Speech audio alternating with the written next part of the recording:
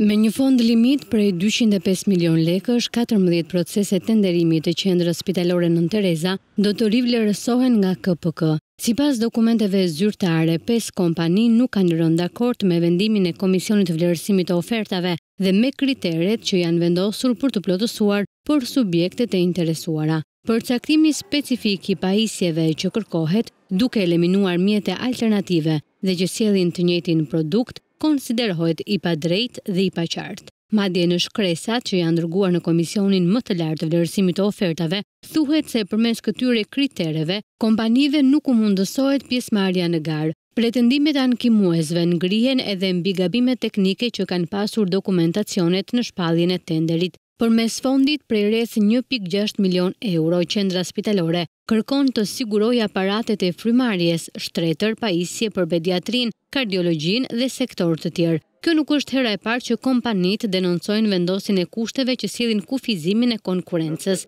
Madje dhe vetë kryeministri Edi Rama deklaroi që do të dërgojë në SPAK çdo dosje e cila dyshohet se kufizon konkurrencën. Edhe pse po arrihet në njëqindditëshin e parë nga kjo deklaratë, deri më tani nuk ka informacione zyrtare për kallëzimin e ndonjë tenderi për t'u hetuar.